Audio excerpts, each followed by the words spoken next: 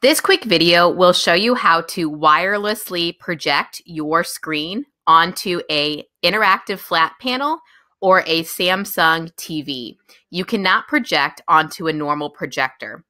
To project on Windows 10, the quickest way is to press on your keyboard the Windows icon and P.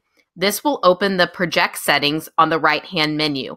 You'll then click on Connect to a wireless display. Once you find the wireless display you want to project to, click it to begin projecting. The other way is to use the notification icon in the lower right hand corner.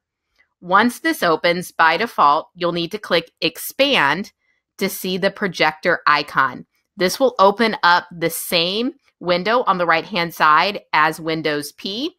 And then again, you'll go down to Connect to a wireless display, find your display, and click it to begin projecting.